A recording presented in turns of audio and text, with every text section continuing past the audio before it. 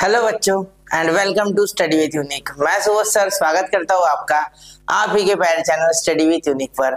और इस लेक्चर में हम क्वेश्चन नंबर सिक्स से लेके तो क्वेश्चन नंबर टेन तक पूरे कवर करेंगे, ठीक है? चार क्वेश्चन है सिर्फ़ मतलब पाँच से सिक्स को पकड़ के कवर कर देंगे इस लेक्चर में। पिछले लेक्चर में मैंने निकाल भी लिया था क्वेश्चन लेकिन मैंने लिया नहीं, क्योंकि 20-25 मिनट से ऊपर इस चैप्टर के तो एटलीस्ट मुझे लेक्चर बनाने नहीं है, क्योंकि अभी आप पहले नए नए हो, मैं नहीं चाहता कि आपको एकदम से बर्डन दे दूँ। पहले आराम आराम से देखो, आप डाइजेस्ट करो अच्छे से लेक्चर ठीक है? भले पुराना है टॉपिक मतलब पिछले साल हुआ है थोड़ा बहुत, लेकिन कुछ बच्चों को डाइजेस्ट होने में समय लगता है, ये बात मैं समझता हूँ। ठीक है? कोई नहीं, बिल्कुल आराम से चलेंगे। वैसे तो आप शक्तियाँ है आपके पास यूट्यूब की आप रोक सकते हो लेक्चर को, लेकिन मुझे पता है कि एक लेक्चर को आपने एक बार छोड़ दिया उसको कंप्लीट करने का दिन डायरेक्ट एग्ज़ाम के दिन आता। इसीलिए मैं छोटे ही बना रहा हूँ ओके ठीक है, चलिए। सर, बहुत अच्छे से पहचान पहचानते। नहीं, देखा है मैंने बच्चों में the area of a circle is 25 pi square centimetre find the length of its arc subtended at an angle of 144 at the centre find the area of the corresponding sector बहुत आसान है, देखो। एक सर्कल है। छोड़ो ना यार, बनाना ऐसे एक सर्कल ठीक है? जिसमें 25 पाए उसका एरिया है, ठीक है? तो एरिया ऑफ़ सर्कल है आपका 25 पाई स्क्वायर सेंटीमीटर ओके आगे find the length of its arc subtended arc subtending an angle of 44 at the centre ठीक है तो यहाँ पे कोई 144 का एंगल दे रहा होगा शायद ये। इस तरीके से 144 डिग्री का एंगल छोड़ रहा है, ठीक है?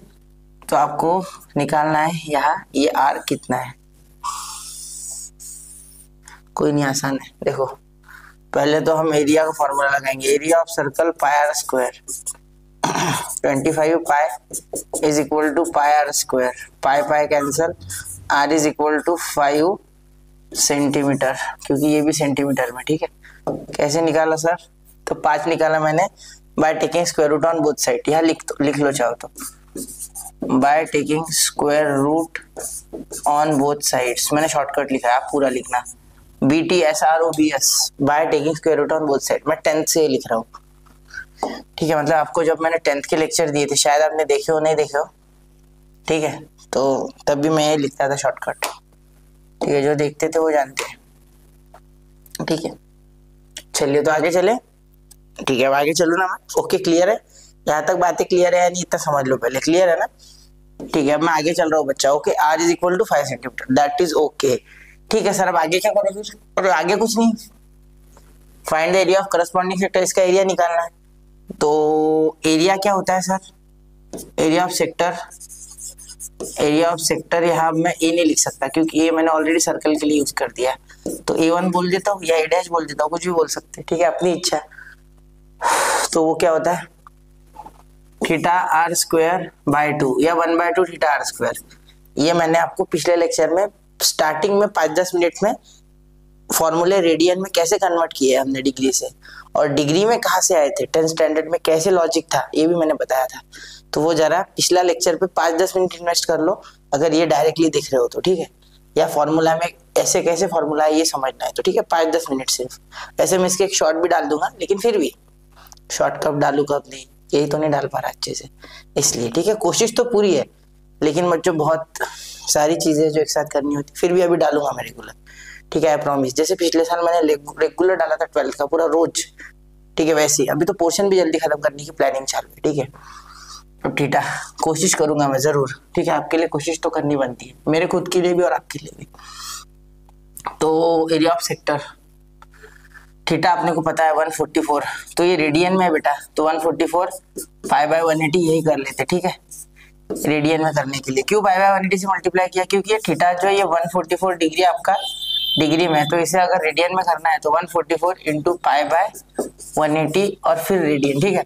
और करने के लिए यहाँ में डिवाइड कर सकता है कि ट्वेल्व से पंद्रह पे, बारह पे कटता है। ज़रूरत नहीं है ऐसे यहाँ भी काट सकते ठीक है? ये into one by two upon two यानी वन बाई टू ठीक है? और आर स्क्वायर आर कितना है भाई? आर तो अभी निकाला, पाँच का स्क्वायर ठीक है?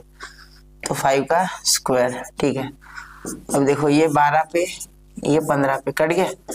देखो ये ट्वेल्व ट्वेल्व था, ये ट्वेल्व फिफ्टीन था, ठीक है? करके देखो आप। ये twelve into pi upon fifteen into two ये मल्टीप्लाई में बहुत अच्छा होता है, एक साथ लिख सकते हैं। फाइव इंटू फाइव पच्चीस ना करते हुए फाइव फाइव तो ये फाइव थ्री ज़ा फिफ्टीन ठीक है? थ्री फोर ज़ा ट्वेल्व टू टू ज़ा, फोर, ठीक है, यही के ये काट दो सारे।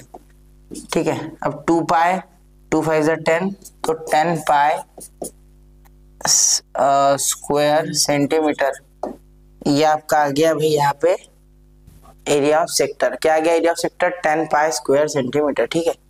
ये आपका एरिया ऑफ़ सेक्टर है। तो आप ये आराम से लिख सकते हो कि the area of sector corresponding sector is ten square centimetre, ठीक है? एक बार सिर्फ़ कैलकुलेशन चेक कर लिया करो, बाकी सब तो ठीक ठीक है? नोट कीजिए वन टू एंड थ्री ठीक है? थोड़ी सी खांसी के कारण आपको दिक्कत हो सकती है। बाकी तो कुछ नहीं, ठीक है? अब सेवन देखो। अगर एक एकदम रिलेवेंट रहा तो मैं आपको करने को बोलूँगा। पहले एक बार दस सेकंड देखे खुद करके देखो। वन टू थ्री वीडियो को पॉज करके करके देखा करो। ठीक है, अब एक सर्कल है, जिसमें रेडियस है ट्वेल्व ठीक है? उसमें ए बी फोर्टी फाइव है। O A B is a sector centre at O and if A B find the difference between the area of O A B and A B ठीक है? तो O is the centre O A B और A B ठीक है? ये देखो ओ A B यानी ये, ठीक है? और ए बी यानी रेड से बनाता था देखो। ये ठीक है। फ़र्क है दोनों में, ये मत समझना, एक ही तो है सर, नहीं, अलग है। देखो, बोलने का तरीका ओ ए बी यानी बड़ा वाला और ए ओ बी यानी छोटा वाला, ऐसे अंदर के अंदर ऐसे बोल रहे हो। ठीक है तो ये 45 है। डिग्रीज ठीक है find the difference between the area of sector O A B and area of sector A O B ठीक है तो ए ओ बी का तो बड़ा ही मेजर सेक्टर है, उससे बड़ा है। ठीक है therefore let difference of area between sectors B D D हो जाएगा। चलो डी ले लेते हैं। तो D is equal to A two minus A one A two इसे बोल रहा हूँ मैं, ठीक है? तो ए टू या ए वन बोलने से अच्छा area of sector O A B area of sector O A B minus area of sector A O B ठीक है। तो एरिया क्या होता है? Half into area of sector का एक बार फॉर्मूला लिखता हूँ। क्या होता है एरिया ऑफ़ सेक्टर का फॉर्मूला भी बताया था। Half into theta R square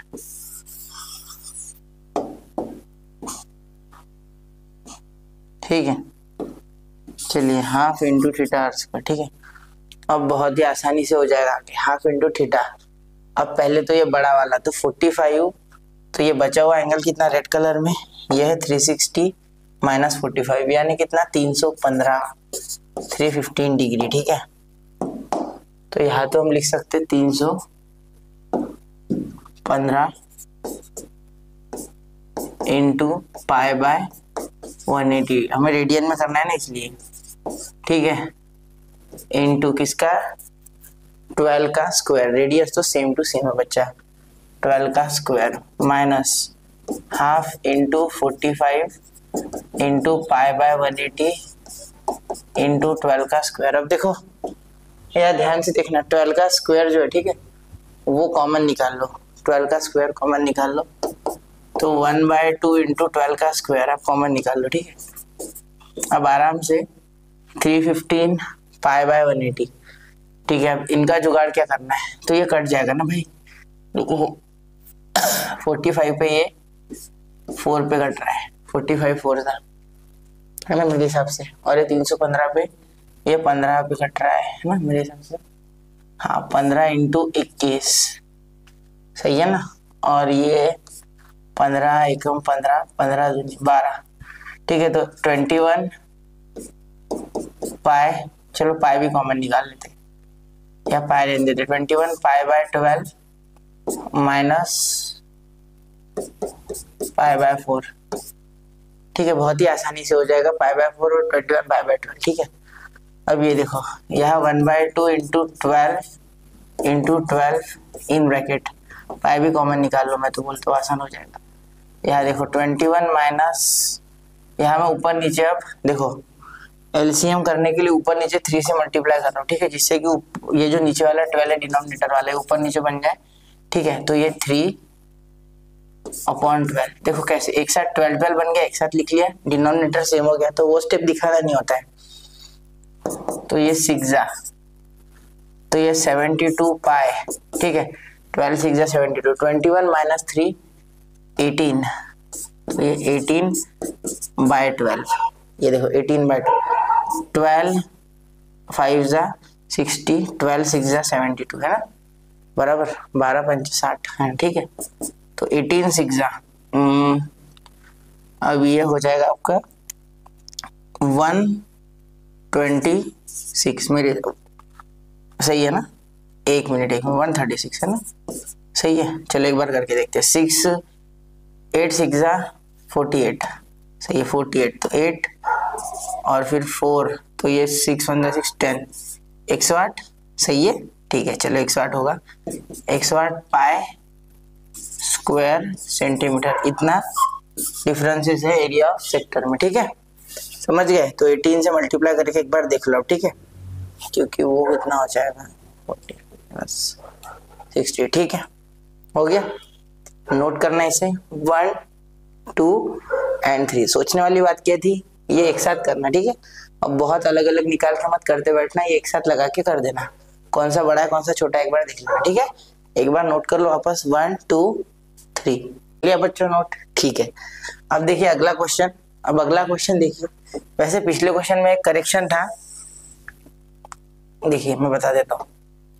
यह ट्राइंगल ए है ट्राइंगल अब ये अगर आपको ऐसे समझना है तो ऐसे भी ओके ऐसे भी आ सकता है। मैं अगले इसमें बताता हूँ अच्छे से वो देखो। इन्होंने क्या बोला है? एक सर्कल है, ठीक है, जिसमें एक मिनट एक सर्कल है जिसमें ओ द सेंटर फिर क्या बोला है ओ सेंटर होने के बाद? फिर बोला है कि O P Q is a sector okay O P Q नाम का एक सेक्टर है ओके और यहाँ से कॉर्ड बनाना है, ठीक है? और हमें बोलना है find the area enclose by the arc P Q and chord P Q okay तो area find the area enclose by arc P Q मतलब एरिया ऑफ़ सेगमेंट पूछ रहे हो, है ना? हाँ ये पूछ रहे हो ये, जो मैंने डार्क किया, ठीक है? ये पूछ रहे हो एक्चुअली एंड कॉर्ड पी मतलब इसका ही मीनिंग है। ये कॉर्ड और आर्क ये देखो, ये आर्क है और ये कॉर्ड है, ठीक है? इसका मेरे पास डायरेक्ट फॉर्मूला है। टेंथ स्टैंडर्ड में सीखा है हमने, लेकिन मैं नहीं लगाऊँगा, ठीक है? दिख रहा है कि क्लियर कट एक मिनट, जरा चेक करो। ठीक है। मैं डायरेक्ट फॉर्मूला नहीं लगाऊँगा। मैं मेथड वाइज जाऊँगा, ठीक है? जिससे कि आपको अच्छे से समझ, ठीक है? इसमें क्या करना है, आपको आपको सबसे पहले एक इसमें इस तरीके से एक हाइट बना लेनी है। ठीक है, कहा से यहाँ से बना लेते हैं, देखो। जरा यहाँ से बना लेते हैं ऐसे हाइट ठीक है? ये इस ट्रायंगल की हाइट है, ये एच बोल देता हूँ मैं क्या बोल देता हूँ? एच ठीक है? अब ध्यान देना, मेरी बातों पे सिर्फ़ ध्यान देना हो जाएगा सॉल्व ठीक है? पहले तो एरिया ऑफ़ सेक्टर निकाल लेते मतलब ओपी क्यू सेक्टर का एरिया ठीक है? और थीटा दिया हुआ है, थर्टी तो बहुत आसान, ठीक है? देखो, area of sector O, P, Q is equal to theta R square by two. तो थीटा कितना है? Thirty into pi by one eighty, जो कि हम रेडियन में कर रहे हैं। आर कितना है? फिफ्टीन। रेडियस तो फिफ्टीन है तो बच्चा टेंशन ही नहीं है।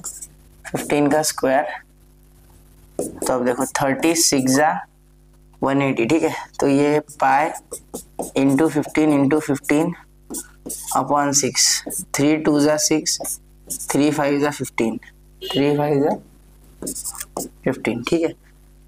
हो गया। तो यहाँ देखो seventy five by two pi, ठीक है? और ये हो गया स्क्वायर सेंटीमीटर ठीक है ना, समझ गए? फिफ्टीन फाइव सा सेवेंटी फाइव सही है ना?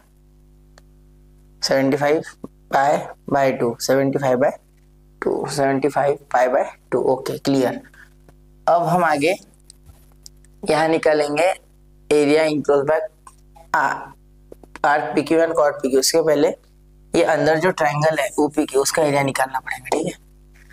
तो area of triangle O P Q is equal to half into base into height ठीक है तो हाफ़ इंटू बेस कितना है उसका, देखो? बेस उसका ओ क्यू है फ़िलहाल।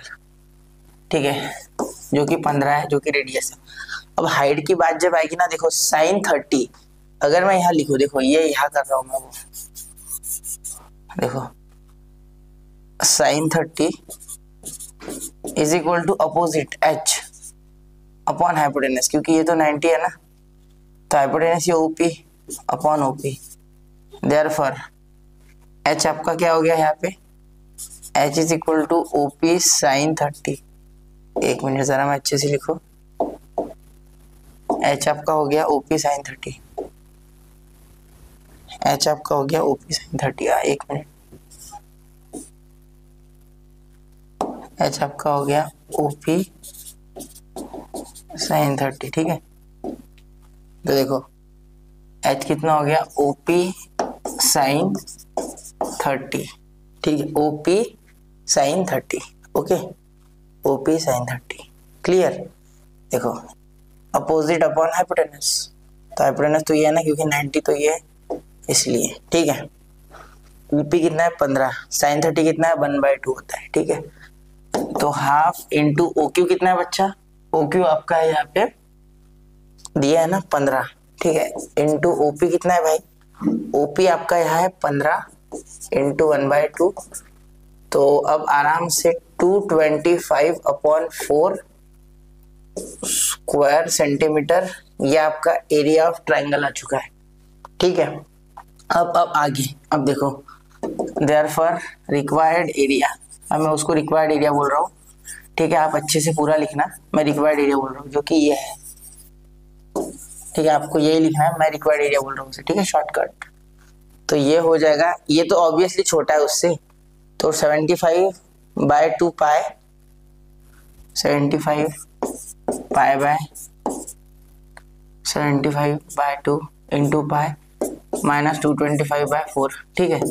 तो ऊपर नीचे चार से करोगे तो ये हो जाएगा 150 देखो या ऊपर नीचे चार बना रहा हूँ pi minus two twenty five upon four. मैंने एलसीएम लिया इसको ऊपर नीचे टू से मल्टीप्लाई किया, ये 150 बन गया, ये फोर बन गया, ठीक है? तो साथ में आ गया, ठीक है?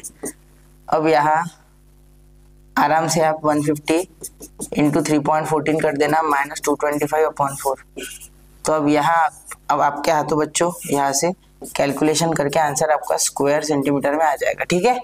चलिए तो नोट कीजिए इतना। मेरा काम था कॉन्सेप्ट समझाना, वो मैंने आपको समझा दिया कि क्या करना, सबसे पहले एरिया ऑफ़ सेक्टर फिर एरिया ऑफ़ ट्राइंगल और वो एरिया ऑफ़ ट्राइंगल निकालना है सबसे ज़्यादा दिमाग वाला काम है। यही बच्चे फंसते थे टेंथ स्टैंडर्ड में। यह एक फॉर्मूला होता था, वो छोड़ो अब एरिया ऑफ़ सेगमेंट के नाम से इसे सेगमेंट बोलते थे हम अब तक टेंथ में सेगमेंट बोला था इसे। यह बोला गया है कि बिटवीन आर्क एंड कॉर्ड तो ये वही बात होगी ठीक है? चलिए नोट कीजिए। वन टू थ्री इस क्वेश्चन को एक बार देखना, नहीं समझा था वापस। ठीक है? चलिए। अब देखिए क्वेश्चन नंबर इलेवन अब ये आपके लिए बना हुआ क्वेश्चन है, ठीक है? अब इसमें थोड़ा सा दिमाग लगाना है। ये मैं आपके ऊपर छोड़ूँगा, क्योंकि देखो, ध्यान से देखना, सबसे पहले एक सर्कल दिया है, ठीक है? तो पेरीमीटर ऑफ़ सेक्टर दिया है। देखो पेरीमीटर ऑफ़ सेक्टर बोला गया उन्होंने ट्वेंटी मतलब ये पूरा जो पेरीमीटर है, ये पूरा ये पूरा, ये इतना, ठीक है? चलो रेड कलर से मार्क करता आपको नहीं समझेगा शायद ऐसे। एक मिनट ये देखो। ये ये रेड वाला ट्वेंटी दिया गया। ठीक है, फिर क्या बोल रहे हैं वो? Area of circle is twenty five ठीक है? तो area of circle is twenty five से पाए तो area of circle is pi R square ठीक है therefore twenty five is equal to pi R square twenty five pi है वो sorry